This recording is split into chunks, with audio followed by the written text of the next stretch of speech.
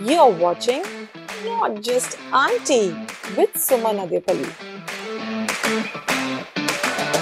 why fitness Sorry. is important for women. See, when you're doing it at 20 and 30, it's more of a fad. You're doing Zumba, Yes. you're doing cult, you're doing blah, blah, blah, blah. And then you keep moving on and doing.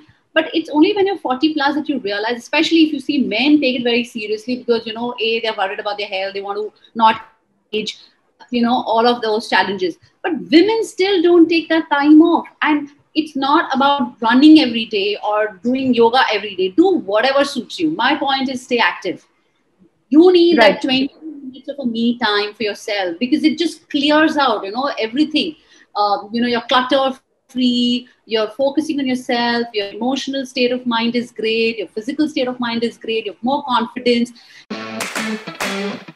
You're watching Not Just Aunty with Suman Adepalli.